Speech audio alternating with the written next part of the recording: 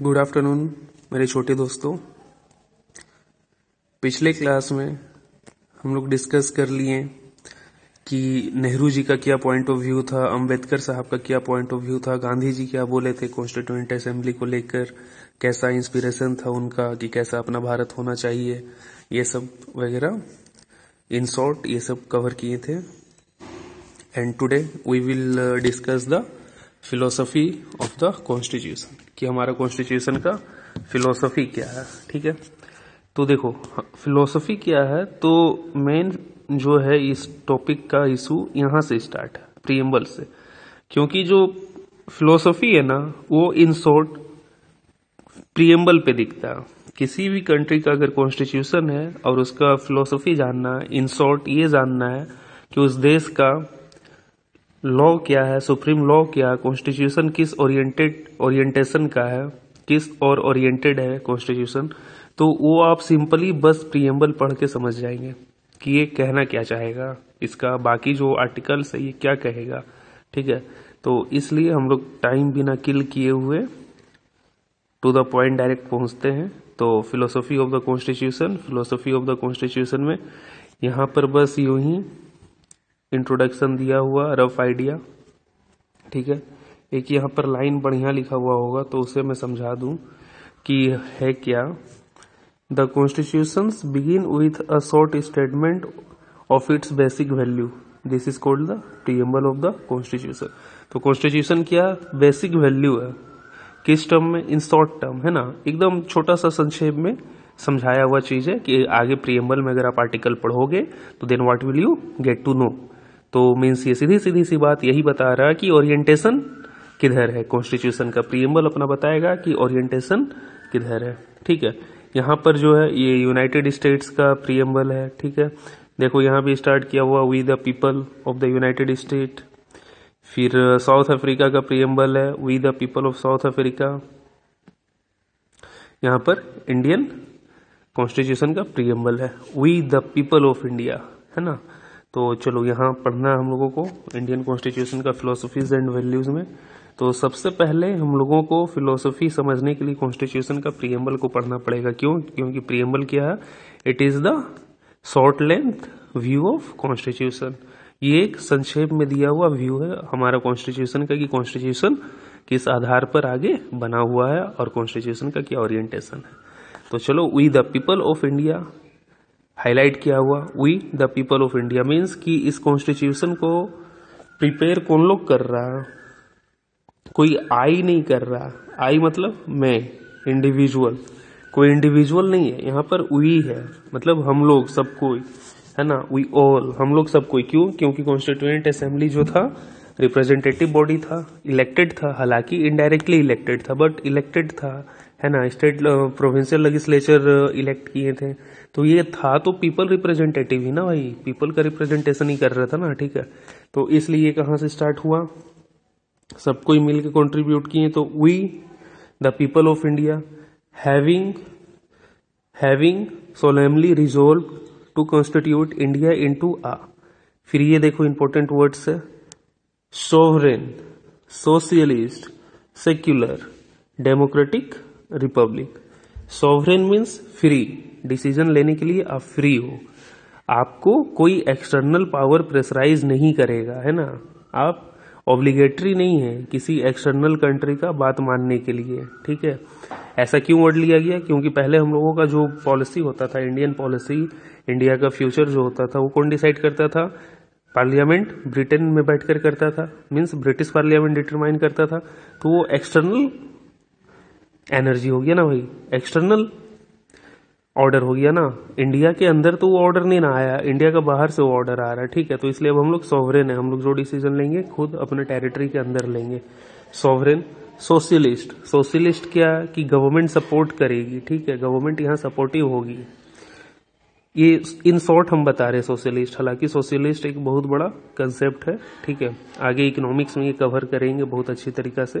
लेकिन फ़िलहाल यहाँ पर इन शॉर्ट ये समझ लो सोशलिस्ट मतलब क्या? कि गवर्नमेंट सपोर्ट करेगी दो जू आर डिप्राइव्ड ठीक है? जो लोग डिप्राइव्ड हैं प्रिविलेज क्लास हैं, ठीक है? तो गवर्नमेंट उनको सपोर्ट करेगी।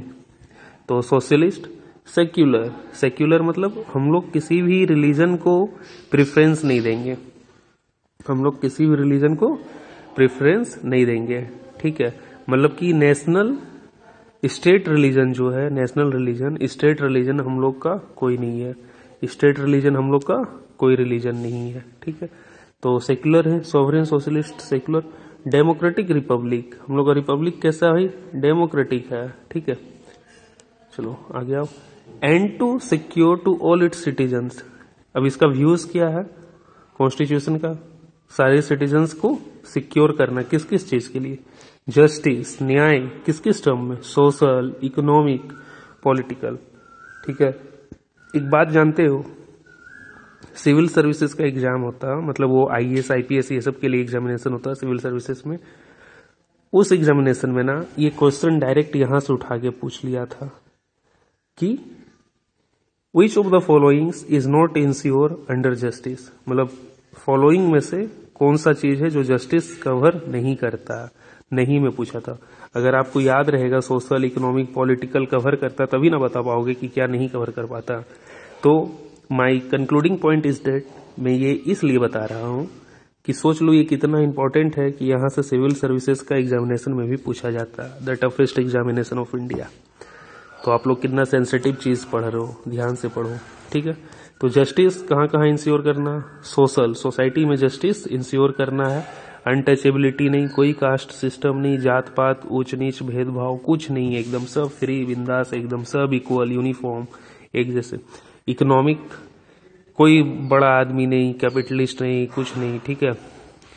पॉलिटिकल पॉलिटिक्स में सबको इक्वली रिप्रेजेंटेशन किसी को कोई वंचित नहीं किया जाएगा कि आपको पॉलिटिकल रिप्रेजेंटेशन नहीं है और ये नहीं है, ठीक है? तो जस्टिस आपको ये थ्री पिलर पे इंश्योर करना है। Social, economic, political. Liberty. Liberty of thought, सोचने की आज़ादी, एक्सप्रेशन, एक्सप्रेस करने की बिलीफ, विश्वास की फेथ एंड वर्शिप आप कुछ भी सोच सकते हैं, एक्सप्रेस कर सकते हैं, विश्वास कर सकते हैं पूजा पाठ कर सकते हैं, किसी भी धर्म को मान सकते हैं। ठीक है, ये सब आ गया इसमें।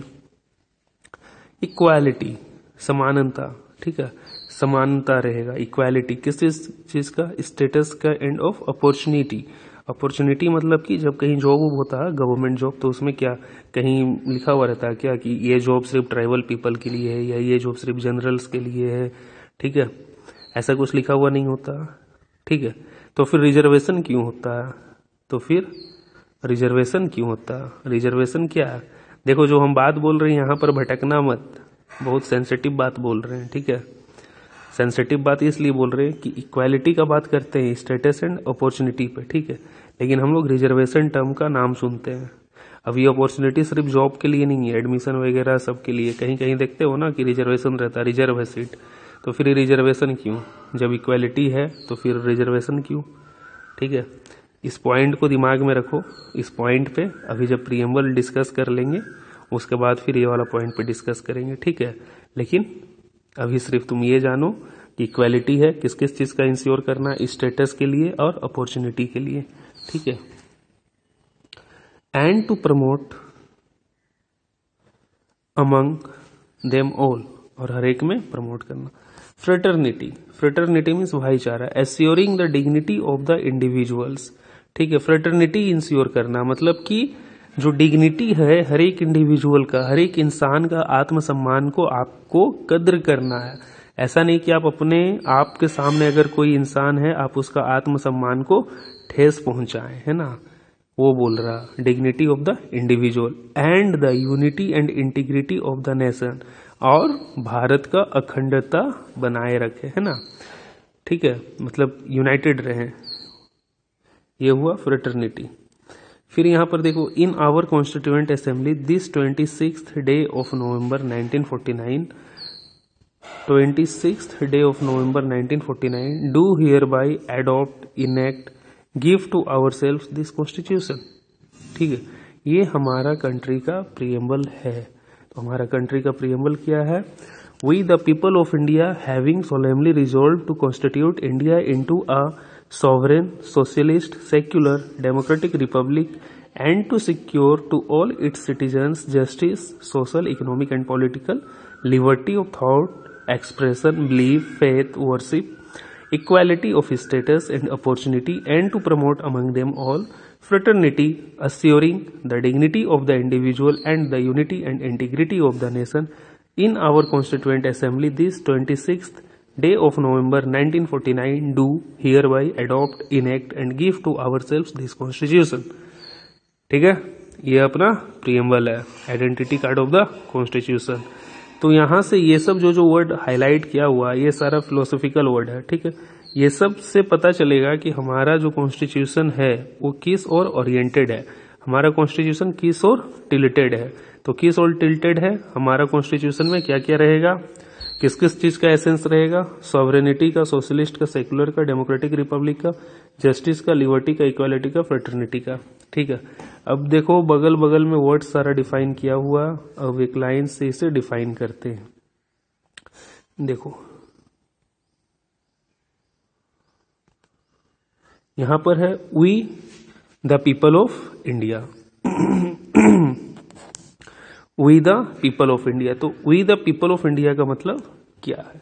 The constitution has been drawn up and enacted by the people through their representatives and do not handed down to them by a king और एनी आउटसाइड पावर तो we the people of India से क्या पता चलता है कि हम लोग, जो पीपल हैं, वो लोग का डिसीज़न से ये कॉन्स्टिट्यूशन तैयार हो रहा है। तो डिसीज़न हम लोगों का कैसे रहेगा? हम लोग तो पार्टिसिपेट किए नहीं डायरेक्ट तो इनडायरेक्ट पार्टिसिपेट किए। किस तरह? हमारा रिप्रेजेंटेटिव वहाँ पर था। तो इसका मतलब हम ही लोग थे, क्योंकि हम ही लोग ना चुन के भेजे हैं। ठीक है? वो, और फिर दूसरा चीज़ बताता है कि ये जो है, कोई भी किंग और आउटसाइड वाला पावर इसे इंस्टॉल इस कॉन्स्टिट्यूशन को भारत के लिए क्रिएट नहीं किया है। ठीक है? वही द पीपल ऑफ़ इंडिया से ये पता चलता है। फिर सॉवरेन। सॉवरेन का मतलब क्या है? People have supreme rights to make decision. ठीक है? सुप्रीम डिसीज़न कौन करेगा? कौन लेगा supreme decision? People. On internal as well as external matters. ठीक है? No external power can dictate the government of India. कोई भी बाहर से अगर कंट्री बोलता, मान लो यूएसए बोलता है कि भारत को अपना पॉलिसी में बदलाव कर दो। भारत को बोला, भारत, तुम अपना पॉलिसी चेंज करो। ठीक है? अब भारत नहीं करेगा। अब भारत 1900 19 वाला 1920 वाला भारत नहीं है। ठीक है? अब ये भारत, दूसरा भारत, यंग भारत है। ठीक है? तो 1947 का बाद का भारत है। अब ये किसी का सुनेगा नहीं। अब ये सिर्फ़ अपना और अपने पीपल का सुनेगा, है ना? तो इसलिए हम लोगों को सॉवरेन जो कंसेप्ट है फिलोसफी हम लोग सॉवरेन कंसेप्ट एडॉप्ट किए, है ना? हम लोग सॉवरेन है। किसी भी एक्सटर्नल पावर्स पे हम लोग डिक्टेट नहीं होंगे, ठीक है? कोई भी डिक्टेट हम लोगों को एक्सटर्नल पावर नहीं करेगा। We are not oblige to any external power during the making on decision In earlier phase during the British era, we were obliged by the British Parliament to make our decision. In fact, even we were not in power to take decision. They were taking the decision for us. But now we are dependent, we are self-dependent, है ना तो हम लोग खुद का decision खुद लेंगे so that we are sovereign समझे दोस्त पढ़ाई कर भाई पढ़ाई कर समझ ये सब बहुत इंपॉर्टेंट है समझ बहुत इंपॉर्टेंट है, ठीक है? नाउ इट्स अ सोशलिस्ट ठीक है? Wealth is generated socially and should be shared equally by society ठीक है? वेल्थ जो भी रहेगा, जो भी धन की प्राप्ति होगी, ठीक है, वो सोशली सब में डिवाइड किया जाएगा। डिवाइड किया जाएगा सोशली डिवाइड किया जाएगा। Government should regulate the ownership of land and industry to reduce socio economic inequalities देखो सोशलिस्ट वर्क कैसे करते हैं? यहाँ पर बोल रहा ना, यहाँ पर here is the concept that the wealth is generated socially and should be shared equally तो हाउ पीपल विल शेयर तुम जस्ट इमेजिन करो, अगर अगर तुम अभी कुछ काम किए और तुम्हें मिला, चलो टू थाउज़ेंड रुपीज़ ठीक है? अभी you got two thousand rupees तो और तुम्हारा बगल में कोई आता है इंसान, या कोई तुम्हारे पड़ोसी आता है, ठीक है? और बोलेगा, यार, ये इसमें से वन थाउज़ेंड मुझे दे दो ना। तो तुम क्या बोलोगे? भागता मेहनत किए हम और दे तुमको दे। ठीक है तो तुम इसे शेयर किए, नहीं किए। लेकिन गवर्नमेंट तुमसे ले लेगी और तुमको पता भी नहीं चलेगा भाई। बहुत इंटरेस्टिंग बात बता रहे अब सुनो, मज़ा आएगा सुनने में। ये दो हज़ार रुपया जो तुम लिए ना, तुम खुद नहीं दोगे, अपने पड़ोसी को नहीं दोगे हज़ार रुपया। ठीक है, अगर वो एडवर्स कंडीशन में भी हो तो तुम नहीं दोगे। और दोगे भी क्यों? भाई, मेहनत किए हम, मेहनत से कमा कर ला रहे हैं, बांटने के लिए क्या? यही दिमाग पे आएगा, ठीक है? तो हम लोग सोशलिस्ट कैसे हैं? आप तो नहीं बांटे। और सरकार भी आपसे अभी बोल देगी कि ऐसा करो बाबू, तुम दो हज़ार जो कमाए हो, उसमें से हज़ार रुपया मुझे दे दो। भाई, तुम सरकार से बगावत कर लोगे। सरकार को गलत ठहरा दोगे, हम भी ठहरा देंगे, मेरा भी सैलरी बोलेगा, आधा दे दो तो हम पक्का बोलेंगे, सरकार अगला बार गया आई पाँच साल के बाद, दूसरे को वोट, ठीक है? तो सरकार क्या करेगी? हम लोगों से ना दो तरह से लेगी, एक तो डायरेक्ट लेगी और एक इनडायरेक्ट डायरेक्ट क्या लेगी? डायरेक्ट टैक्स के तौर पे इनकम टैक्स इनकम टैक्स तो भाई देना ही पड़ेगा तुमको, नहीं तो तुम्हारा पैसा ब्लैक मनी में काउंट हो जाएगा, ठीक है? तो दे दिए तुम। चलो, वहाँ तो बंधे हुए हो, आधा नहीं ले रहा, कुछ ले रहा जिसका जो गैप मतलब होता है, एक, लेवल होता है। पाँच लाख से ऊपर आपका इनकम रहा तो कितना परसेंट लगेगा? इस तरह करके एक स्केल बना हुआ रहता है, ठीक है? उस स्केल के हिसाब से हो जाएगा। अब दूसरा जो होता है ना, सरकार बहुत तेज होती है। जो गरीब है ना, उससे भी टैक्स ले लेती है।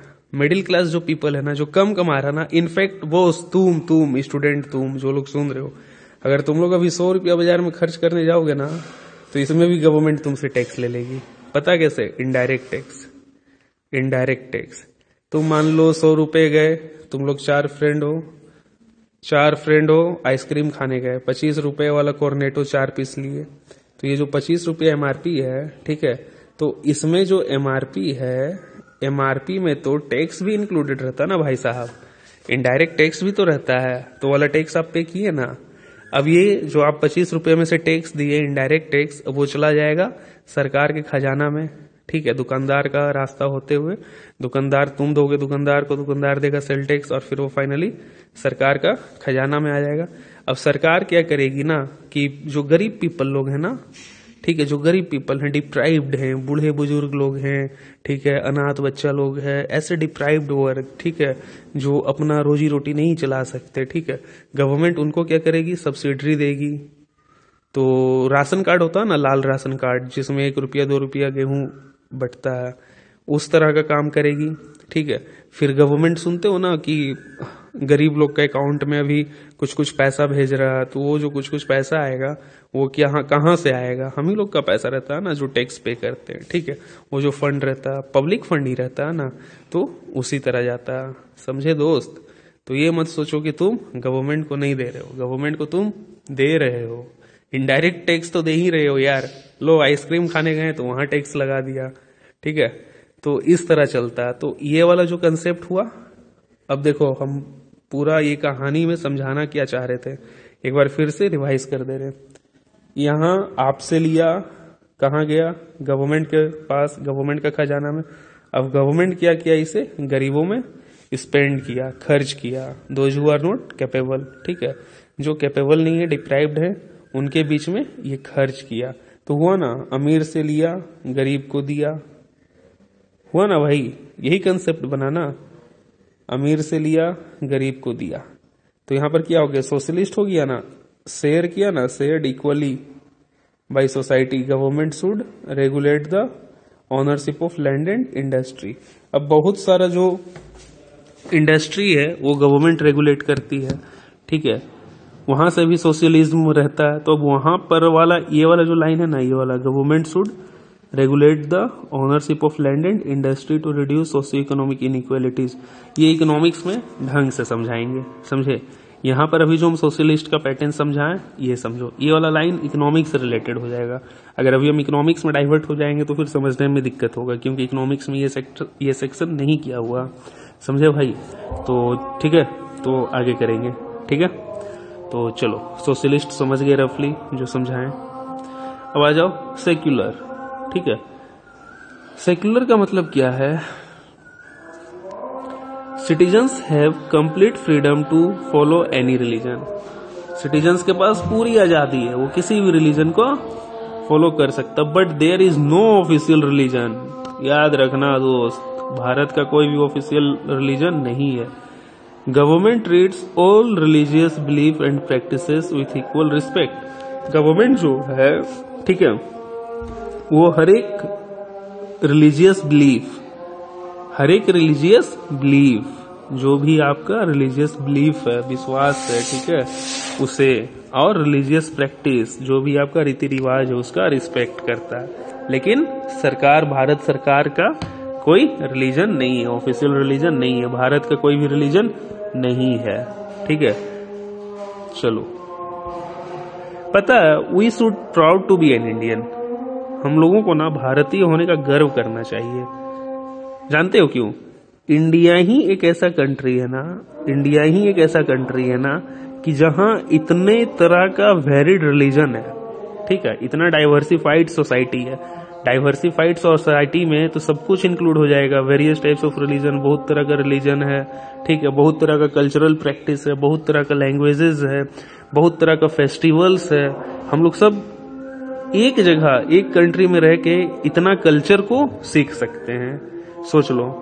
कुछ लोग का तो ये ख्वाहिश रह जाता है कि हम बहुत सारा कल्चर को सीखें और हम लोगों का पास अपॉर्चुनिटी रहे तो उस चीज़ को एंजॉय नहीं करते हैं। सोचो, समझे? तो इसलिए हम लोग बहुत लकी हैं कि भारत में, जहाँ की इतना सारा रिलीजन कल्चर प्रैक्टिस एग्जिस्ट करता है एक साथ, कि हम लोग सब चीज़ सीख सकते हैं, सब ढंग से समझ सकते हैं। ठीक है? चलो सेकुलर समझ गए फिर आ जाओ democratic democracy, democratic. French revolution में तो समझाए ही थे, फिर भी आ जाओ। Democratic a form of government where people enjoy equal political rights elect their rulers and hold them accountable यहाँ पर तो ज़्यादा समझाने की ज़रूरत है नहीं। पीपल जो गवर्नमेंट होगा पीपल द्वारा चुना हुआ होगा, है ना? People will elect them and equal political rights सब चीज़ रहेगा, ठीक है? The government is run according to some basic rules. Some basic rules के थ्रू जो डेमोक्रेटिक गवर्नमेंट होती है, वो रन करेगी। फ्रेंच रेवोल्यूशन में समझाए ना यार, गला फाड़ फाड़ के अपना चिक चिक के। रिवाइज करो उसको। ठीक है, ये डेमोक्रेटिक हो गया, और वर्ड्स अब इधर। चलो, अब रिपब्लिक। रुक जाओ, साफ़ होने दो। चलो, हो गया। रिपब्लिक। ठीक है। The head of the state is an elected person and not hereditary position. जो हेड ऑफ़ द स्टेट होगा, वो इलेक्टेड होगा, है ना? वो इलेक्टेड होगा। हेरिडेटरी नहीं होगा। ठीक है, जैसे प्रेसिडेंट साहब हैं तो प्रेसिडेंट साहब का इलेक्शन होता है ना भाई? अब डायरेक्ट होता है या इनडायरेक्ट होता है, उसको अभी छोड़ दो। अभी समझो इलेक्शन होता है या नहीं होता। होता है। तो हेरिडेटरी नहीं ना है कि जो अभी प्रेसिडेंट साहब हैं तो ऑनरेबल प्रेसिडेंट का आने वाला जो पीढ़ी है, वो भी प्रेसिडेंट ही होगा। नहीं होता ऐसा। ठीक है? तो इस पैटर्न को बोलते हैं, इस प्रैक्टिस को बोलते हैं रिपब्लिक फिर जस्टिस बहुत इंपॉर्टेंट जस्टिस ठीक है? क्या बोलता है justice citizens can not be discriminated on the ground of caste religion gender जो भारत के नागरिक हैं, ठीक है, जो सिटीजन हैं, उनके साथ भेदभाव नहीं हो सकता। सिटीजन्स के साथ डिस्क्रिमिनेशन नहीं हो सकता। किस किस बेसिस पे? कास्ट, जात के नाम पर कि तुम फलना जात से हो, तुम ढकना जात से हो तो ये वो बकवास चीज़, ठीक है? ये सब नहीं प्रैक्टिस होगा। On a basis of religion धर्म के आधार पे, ठीक है? कि धर्म के आधार पे प्रैक्टिस कर रहे हैं, तुम भाई इस धर्म के हो, तुम उस धर्म के हो। तो कुछ नहीं। रिलीजन पता क्या? पिछले एक बार दो तीन क्लास पहले हम दिए थे रिलीजन पे लिखने के लिए। बहुत कोई तो आंसर नहीं दिया था। शायद एक दी थी, आराध्या राय दी थी आंसर उसका आंसर बढ़िया था। ठीक है। तो रिलीजन है क्या? रिलीजन समझो। एक बहुत बड़ा फिलोसफी समझा रहे हैं। रिलीजन जो है ना, बस ये एक प्रैक्टिस है। ये ना ज़िंदगी जीने का एक तरीका सिखाता है, एक एसेंस है, एक कल्चरल प्रैक्टिस है। जब कुछ ग्रुप ऑफ़ पीपल बड़ा पैमाने पर जब वो ग्रुप फॉर्म कर जाए और उस कल्चर को प्रैक्टिस करने लगे ना तो वो रिलीजन का रूप ले लेता है। ठीक है? जैसे बेसिक रिलीजन क्या जानते हो? भारत में, हिंदुस्तान में एक हिंदुइज्म। ठीक है? क्या क्या जानते हो? एक हिंदुइज्म जानते हो, एक इस्लाम जानते हो, और बहुत खुश हुए तो एक क्रिश्चियनिटी जानते हो। यही तीन जानते होंगे, बाकी बात तो जानते नहीं होंगे, ठीक है? तो हिंदुइज्म क्या है? एक प्रैक्टिस है, एक कल्चरल प्रैक्टिस है ना जी? इस्लाम में क्या है? एक कल्चरल प्रैक्टिस है, क्रिश्चियनिटी में क्या है? एक कल्चरल प्रैक्टिस है, ठीक है? तो ये एक प्रैक्टिस रिलीजन। ये ज़िंदगी जीने का ना तरीका सिखाता। रिलीजन फॉलो करने से पता क्या मिलता? सेल्फ कॉन्फिडेंस बढ़ता। पॉजिटिव रहते हो। एक पॉजिटिव एनर्जी फील करते हो कि नहीं आई कैन डू कोई ना कोई इस यूनिवर्स में ऐसा पावर है जो कि इस यूनिवर्स को चला रहा है। ठीक है, अब उस पावर को हम लोग डिफरेंट डिफरेंट नाम से जानते हैं। ठीक है, उस पावर को हम लोग डिफरेंट डिफरेंट नाम से जानते हैं। ठीक है, कभी ऐसा पढ़े हो क्या? ज्योग्राफी में या कहीं पढ़े हो कि एक गैलेक्सी है, जिस गैलेक्सी में हम लोग रहते हैं, वो गैलेक्सी का बहुत सारा डिपार्टमेंट बना हुआ है। एक हिंदू वाला डिपार्टमेंट बना हुआ है, एक इस्लाम वाला डिपार्टमेंट बना हुआ है एक क्रिश्चियन वाला बना हुआ है, एक पारसी वाला बना हुआ है। पढ़े हो क्या ऐसा है कि जो हम लोगों का ब्रह्मांड है, गैलेक्सी, उसमें डिफरेंट डिफरेंट डिपार्टमेंट बना हुआ रिलीजन का। नहीं बच्चों, ऐसा कुछ नहीं है, ठीक है? ये हम लोगों का एक बकवास सोच है कि जो हम लोग डिफ्रेंशिएट करते हो ना बेसिस ऑफ़ रिलीजन ठीक है? हमारे सोसाइटी का। तो ये बेकार है, क्योंकि ना, भगवान है क्या? गॉड है क्या? God is a power omnipresence ठीक है? ओमनी पोटेंस जो कि हमेशा हमारे इर्द गिर्द प्रेजेंट है और हम लोग उस पॉजिटिविटी को फील करते हैं। भगवान हम लोगों को सिर्फ़ पॉजिटिव बनाता है, ठीक है? अब वो चाहे किसी भी नाम से उसको रिकॉल कर लो, ठीक है? आई होप समझ रहे होगे मेरे फिलोसफी को लेक्चर को। इसे अपने आप में उतारो, अपने ज़िंदगी में उतारो, ठीक है? बहुत आगे जाओगे। चलो रिलीजन समझ गए? इतना डिस्कस इसलिए कर दिए क्योंकि हम इस पर क्वेश्चन ही दे दिए थे लिखने के लिए। इसलिए थोड़ा डिस्कस कर दिए। And on a basis of gender gender मतलब मेल एंड फीमेल है ना? पुरुष एवं महिला कि मेल ऐसा कर सकता फीमेल ऐसा नहीं कर सकती है। ठीक है? Both are capable both have same brain दोनों के पास सेम दिमाग है तो दोनों दे बोथ कैन वर्क तो हम लोग डिफ्रेंशिएट नहीं कर सकते on a basis of gender कि male and female have different capability ठीक है? चलो, फिर आगे बढ़ते हैं। अगेन क्या है? Social inequalities have to be reduced social inequalities को क्या है? कम करना है। Government should work for the welfare of all specially of disadvantage group government सबके लिए काम करेगी, लेकिन स्पेशली जो डिसएडवांटेज है, जो खुद के लिए नहीं कर सकते ठीक है? फिर liberty there are no unreasonable restriction there are no one minute let me pick pen yes there are no unreasonable restriction बिना मतलब का रिस्ट्रिक्शन आप पर नहीं लगेगा। मतलब कि आप पे रिजनेबल रिस्ट्रिक्शन लग सकता है। ठीक है? रिजनेबल रिस्ट्रिक्शन लग सकता है। There are no unreasonable restriction on the citizens in what they think how they they wish to express their thoughts and the way they wish to follow up their thoughts in actions ठीक है? Unreasonable restriction नहीं लगेगा, लेकिन reasonable restriction लगेगा। ठीक है? अगर आप अगेंस्ट इंटीग्रिटी ऑफ़ कंट्री जा रहे हैं, अगर आप अगेंस्ट इंटीग्रिटी ऑफ़ सोसाइटी जा रहे हैं तो आप पे रिस्ट्रिक्शन लगेगा। बट अगर आप ऐसा कोई काम नहीं कर रहे हैं कि जिससे सोसाइटी को कुछ क्षति पहुँचे देनी are totally free to do what you like ठीक है that is called liberty equality सबको इक्वल रहेगा, ठीक है, हर एक कोई, समझ ही रहे हो। फिर फ्रेटर्निटी वही भाईचारा, सब एक डिग्निटी के साथ जिएँगे, ठीक है। तो ये फिलोसफिकल वर्ड्स जो था फिलोसफी का, यहाँ पे खत्म होगा। समझे? समझे दोस्त? अब आगे पढ़ते हैं। यहाँ पर एक नोट दिया हुआ, देखो। बहुत इंपॉर्टेंट है। साफ़ हो जाने दो। चलो, देखो नोट में देखो। The term socialist and secular were added by the preamble through forty second constitutional amendment in 1976 1976 forty second constitutional amendment हुआ 1976 में। उसमें प्रियम्बल में दो वर्ड न्यू ऐड किया गया सोशलिस्ट एंड सेक्युलर ठीक है मतलब socialist and secular constituent assembly में जो प्रियम्बल रेडी हुआ था, उसमें नहीं था। ये 1976 में ऐड किया गया। समझ गए? चलो। आगे आते हैं। इंस्टीट्यूशनल डिज़ाइन नाउ तो इंस्टीट्यूशनल डिज़ाइन नेक्स्ट क्लास में करते हैं। ये फिलोसॉफिकल चीज़ है तो इसे समझो, फिर से पढ़ो। ठीक है? और अच्छे से पढ़ो। और टेस्ट का प्रिपरेशन बढ़िया से करो संडे का। कंपोजिट है कंपोजिट मतलब सब मिला जुला है। जितना चैप्टर पढ़ाए हैं तो सारे को बढ़िया से करो। ठीक है? तो चलो थैंक यू